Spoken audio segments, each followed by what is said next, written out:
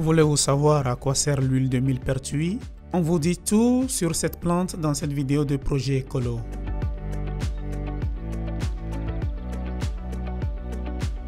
Propriété de l'huile de millepertuis. L'huile de millepertuis possède de nombreuses propriétés médicinales. Elle est antivirale, antibiotique, antidépressive, antispasmodique, anti-inflammatoire, astringente, sédative et cicatrisante. Grâce à ses propriétés, l'huile de millepertuis a de grands avantages pour la santé. Voyons donc ses utilisations les plus courantes.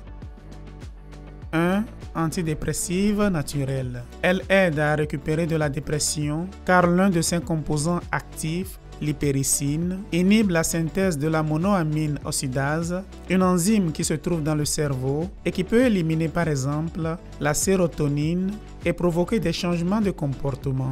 Par conséquent, elle est largement utilisée pour réduire le stress et l'insomnie, prévenir les crises d'anxiété, contrôler l'irritabilité nerveuse, diminuer l'hyperactivité, aider à lutter contre les migraines sévères et réduire la fatigue.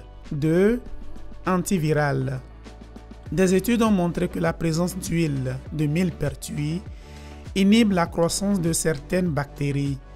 Cela est dû à la présence de l'hyperforine qui produit des effets antimicrobiens sur les staphylocoques et les streptocoques.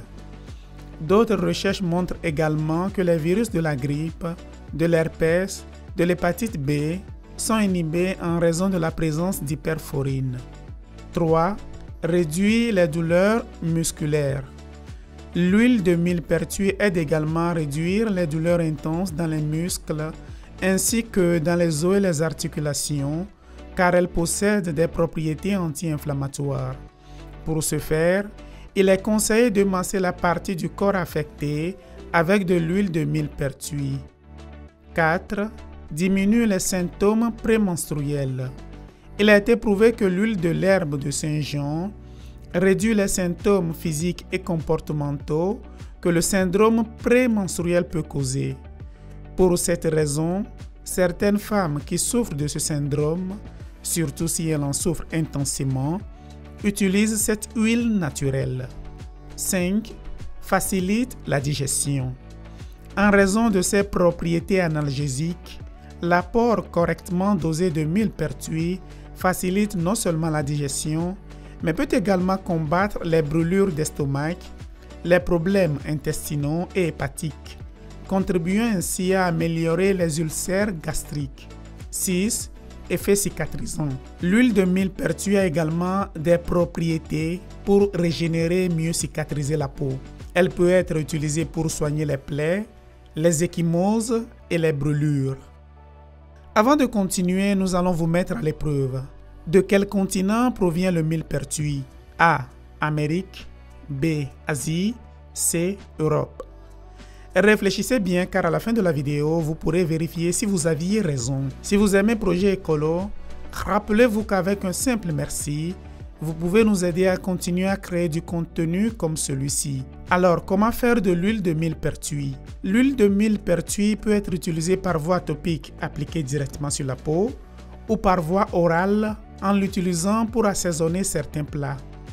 Pour la préparer, vous devez d'abord hacher et écraser 100 g de feuilles fraîches de millepertuis. Ensuite, dans un récipient en verre fermé, versez un litre d'huile d'olive et laissez reposer tout en prenant soin de le garder à l'abri de la lumière du soleil pendant six semaines.